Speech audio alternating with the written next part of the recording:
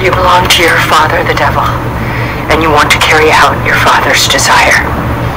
He was a murderer from the beginning, not holding to the truth, for there is no truth in him.